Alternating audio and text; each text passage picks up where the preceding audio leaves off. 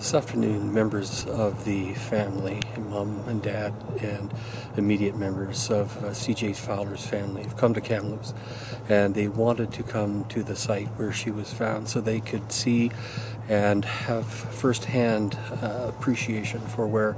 uh, CJ was found, what she saw last, the area that she was in last. They've brought, again, members of their immediate family, plus uh, spiritual counselors and advisors that have been helping and working with the family throughout this extremely difficult time for them. And they're having a very private and personal ceremony to help uh, with their healing process as well as to